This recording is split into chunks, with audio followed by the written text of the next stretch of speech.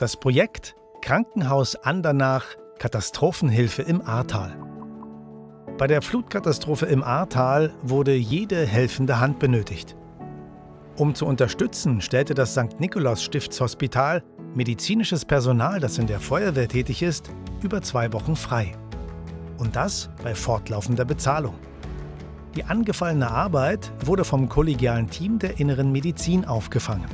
Gleichzeitig versorgte das Krankenhaus obdachlos gewordene Pflegebedürftige und nahm Patientinnen und Patienten aus dem Krankenhaus Bad Neuenahr auf. Mit seinem Einsatz unterstützte das Krankenhaus die Arbeit vor Ort und motivierte weitere ärztliche Kolleginnen und Kollegen, im Katastrophenschutz tätig zu werden.